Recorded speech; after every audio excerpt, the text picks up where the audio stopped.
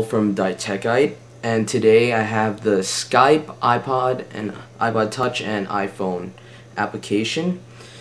And um, Skype is a VoIP um, telephone service that allows you to um, talk to other people on Skype for free, on the Skype service for free, or you could buy some Skype uh, Skype points or minutes and um, use that to call landlines, cell phones, etc. And um, you could also call toll-free numbers for free.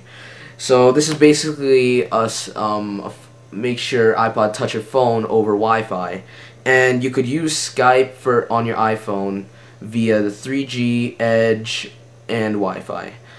Um, the Skype app itself is free, so I say why not get it. Now, um, if you have some issues with it, I can understand why. Some people have been having issues with it, but so far I have no issues. But I haven't got the chance to talk to anyone else yet. But I do have um, Skype set up on my iPod Touch here and on my Mac computer. So let me go show you the app now on my iPod Touch. Here we go see Skype comes in. Now when, when you first start it up you have the option to set up your own account or you have the option to use your existing Skype account. Now your contacts are there. I believe you could use contacts from your address book and from your Skype account. So um, first I'm going to demonstrate uh, Skype user to Skype user or iPod Touch to computer, let's say. So I will go call uh, myself on my computer. So there we go. I'll just type that in and we'll call. Oh, there is. Let's bring that up. See, I'm calling. Um, so let me just click answer. Hello. Hello. Hello. Yeah, you, hear that? That is the um, hello. Oh yeah, so that that is the feedback from my from uh, my computer to my iPod Touch. Now, of course, my iPod Touch has no mic, so every time you call or receive a call, you will get get a, a message saying you have no microphone. Now, here is the the call menu. Here, you get to hold the call. Let me bring it up. Hello, hello, hello. See, I could hold it.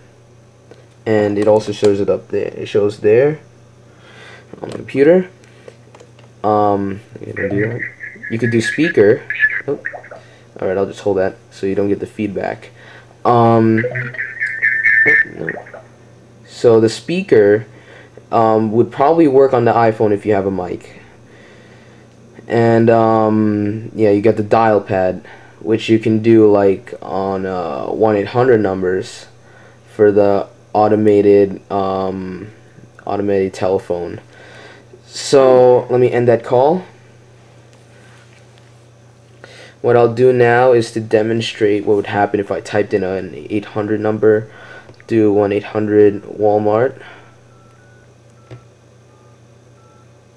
And we'll press call there uh, number. See the no mic message. That'll keep coming up if you don't have a mic. Thank you for, for Walmart Stores customer service. For the phone number, location, and hours of operation of a Walmart store or Sam's Club, press 1. We'll just press if 1. If you are a customer, please hold while your call is being transferred. You also hide the dial pad. Hello, thank you for calling the Walmart store and Sam's Club locator service. To locate Walmart stores, press 1. Alright, enough of that. You could also do chats, like right here on the computer. I'll show you. There we go. You'll just go type something in. La la la la la. Just right on the bottom. I don't know if you can see that. It's just la la la la la la la. Alright. We'll go send that message. Press enter. There you go. And and as you would expect on the application, press that. La la la la la. Yeah, so it's pretty effective. If you could, um, if you're like me, where you go to Manhattan, you get a lot of Wi-Fi hotspots. Um, this would be great. Um, yeah, and all I need is a mic.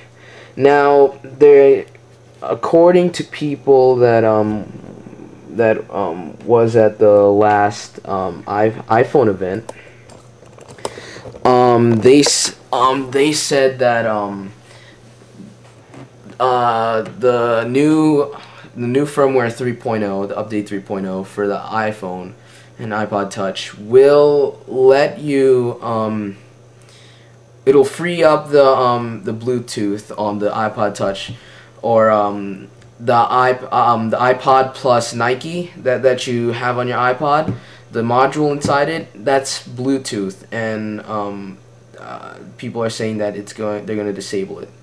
So um, so hopefully that'll happen so I could use my Bluetooth mic with this and ho hopefully use this as a an iPhone if you will so yeah it's it's it's a pretty good app it's pretty solid for me for the most part um, some people again think it's buggy so this is Bol from Ditechite. See you later.